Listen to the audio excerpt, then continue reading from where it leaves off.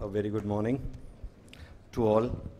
I think, uh, you see, uh, biometry, as they say, is the cornerstone.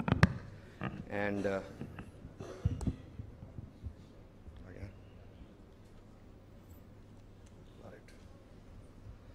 Uh, biometry is the cornerstone, as I said, and I think my previous speaker did some part of the job for me.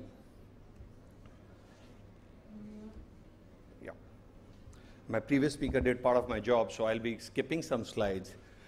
But let me tell you one thing.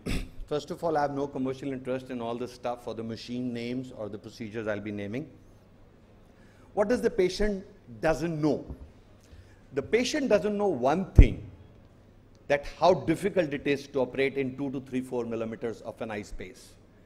The patient doesn't know what it means to cut the capsule to a perfect round circle. The patient doesn't know what efforts the surgeon goes through to keep the cornea clean. What the patient knows is post surgery, he can't see clearly, whatever may be the reason.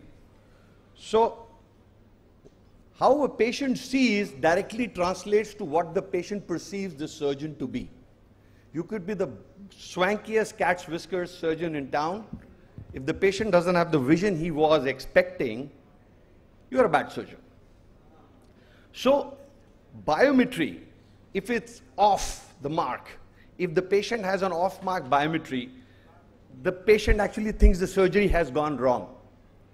Now, when a patient comes to, for a cataract surgery to us, how many of you agree that he comes for a cataract surgery? Only one. He actually comes for a clear vision. He doesn't come for a cataract surgery. This is where the disconnect between the doctor and the patient. Patient is coming for a clear vision. He doesn't care.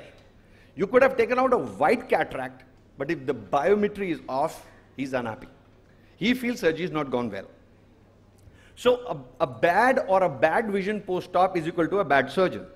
So let's be a little wise here. You can't please them all. Which I'm sure Dr. Pooja is going to be talking about few outcomes where the, everything is happy, surgeon is happy, but the patient is happy. So don't feel bad. Try your best. Always make sure that the patient's expectations are realistic. Avoid using the word that I guarantee this. Never say give the credit to the machine or the IOL. Because guess what happens? When you give the credit to a very expensive machine or the IOL, when things go well, the patient doesn't give you the credit. He feels because he paid for that expensive IOL, he got that result. But what if something goes wrong? Who gets the abuses? You, not the machine. So always take the credit if something goes right.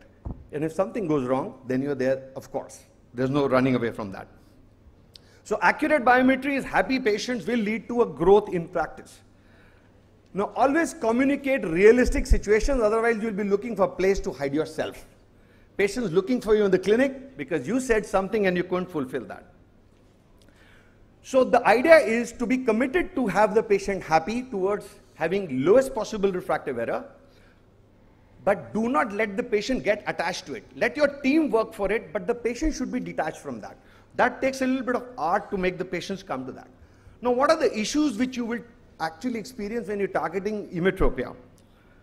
Post-refractive cases, which were well covered by the previous speaker, silicone oil, pediatric cases, corneal scars, dry eye diseases. Now, this is a huge thing which is now we seeing in our practices now. Surface disorders. Now, most of us are ignoring surface disorders. Any patient with surface disorder will give you a bad keratometry. And a bad keratometry will add up to a bad refractive outcome. So let's see. I would say a perfect target emmetropia, it's a journey. It's not a destination. Every day you need to work towards it. You need to, your team needs to work to it. You need, as the previous speaker said, you need to use different machines, different equipment, collaborate, take an average. Now, what are the reasons for hurry? What happens when things go wrong? Everything is perfect. Staff is in hurry, you're in a hurry. Data entry is wrong. Axis is marked wrongly.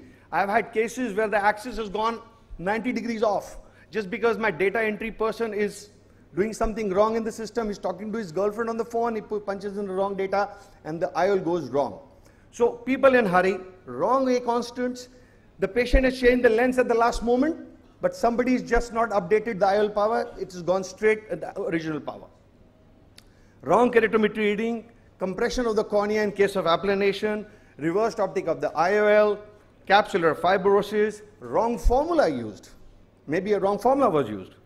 So basic rules are the smaller the eye, even a little amount of error will cause more error for the patient. Larger the eye, myopic eyes are more forgiving for a common, commonsensical reason. Now these are kind of red flags which are available in my all clinics, available, they're, they're printed, these are big posters lying next to the optometrist. There is a protocol, induction protocol, all optometrists need to go through it, they need to memorize it. Then there's a written exam. So if an optometrist, there are some protocols for using an OCT, there are protocols, he sits, he has to go through them, memorize them and write them down and then come for an exam for a senior optometrist. So these things are lying and don't miss those signs there, the danger signs, which means if he's not followed them, the boss is going to get angry. There are some points it says kindly discuss with Dr. Kamal. So these points should be there within visible range because you could have optometrists which are on rotation. They could be changing positions and pose. So the first one could be very diligent and very efficient, the second one could not. So how do you make system and process take over human beings and people? This is what you do. Changing from one biometry to another biometry, changing from an applanation to immersion, immersion to this thing. One thing I would say, the bottom line is calibration of your equipment, calibration of your equipment and calibration and service. Very often you will see your autorefractometer is giving wrong readings because somebody, some child has just come and touched the lens. There's a mark on the lens. Your Cirrus mapper or your Pentacam lens will have a mark on it. Somebody's touched it. Your, your uh, uh, machine, biometry machine, there is some problem. The wrong formula has been entered or wrong A constant has been entered and printouts are going on that. So when you want to change from applanation to immersion, it's a good idea to add a 0.3 A constant into it because there is a compression of approximately 150 to 180 microns. I'm giving you very, very broad outlines because emmetropia target is a huge, huge ocean. I was just talking to Dr. Pooja that this is a long topic, I'm trying to compress it. In case you're shifting from immersion to the optical, in my uh, uh system, we add 0.38 or 0.0.4 uh, uh, uh, a constant into the lens. Or what you could do is you could go to the ULIB site and for there are most of the lenses we use, even the Indian lenses are listed there. You can use them, you can add those things there in the system. Optical biometry, but of course is very, very useful, especially in cases which are unique, they're corneal scars, and with the newer optical biometers like um, IOLMaster 700, uh, Tomey, these machines are able to penetrate even bad cataracts where the earlier IOLMaster 500s or the other previous machines were not able to do that. Now these are the formulas you would like to change if you're changing from immersion to an optical system. So in case you're using an SRKT, where I said just add 0.4. But in case you're using these formulas, these are the buffer factors you add in as you move on. So these things are printed in the optical room and they're in the software. Average formulas, average eyes, most often we use SRKT, less than 20 millimeters. There are different people have different favorites. I have some doctors in my organization who prefer a Hoffer Q over Haigis. Some people uh, prefer Haigis. But yes, the borderline is I would prefer a Hoffer Q between 20 to 22. Another thing is, as the previous speaker said, the keratometric constants are very, very important. What machine are you using? Keratometric constants are those things which are used to convert the millimeter radius to a diopter. These are the division factors.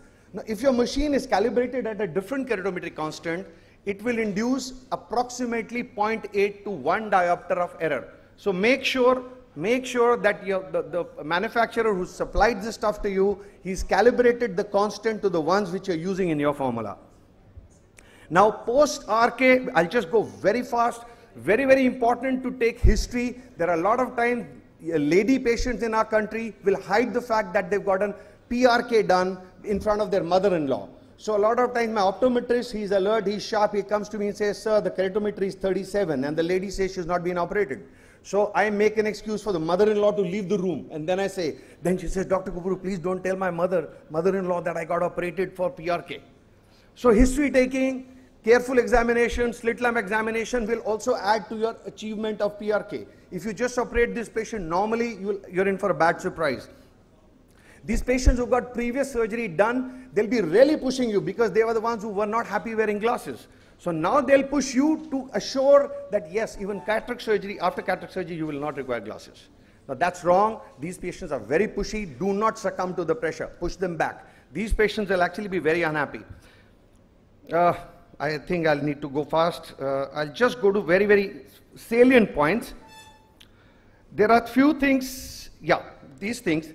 Diurnal variation in RK has been noticed. Dr. Holladay has said that these patients who come early in the morning, they will be hyperopic. So patients who've got more than 14 cuts and above, if you do their keratometry in the morning and their refraction in the morning is different than the afternoon. So there is a hypothesis for that. One more thing is these RK patients will have a decay over time. They'll have a hyperopic shift. So plan that, tell the patient. Next thing you need to tell these patients of post-RK is that your refraction will change after two to three months. So make sure the glasses you make, the real glasses will probably settle in after two to three months. Post-LASIK, again, I think formulas. I thank you. I get to skip. Thank you. Thanks.